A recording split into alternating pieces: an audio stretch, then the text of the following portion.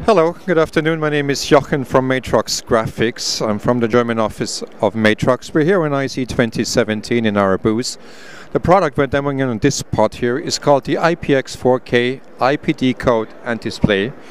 Pretty long name. In a nutshell, what it does. You know Matrox as a manufacturer of graphic cards and of video wall controller cards, where we're adding many physical inputs and on the outputs that have large arrays of displays, large video walls.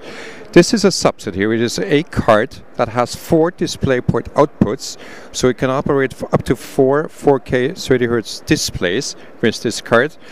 What sets it entirely apart that all inputs it receives are coming through IP. So it is an IP decoding card and it displays those. So it's receiving IP sources that are either encoded by Matrox encoders someplace else, but it could also be surveillance cameras that are, uh, in most cases, the IP cameras anyways.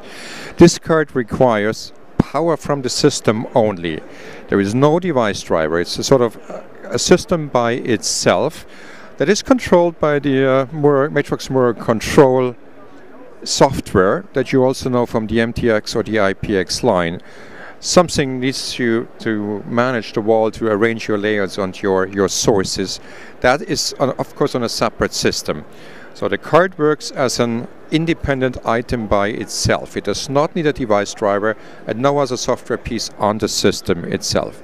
That makes it to an independent multi-viewer. Many sources on up to four 4K displays. That's the core function.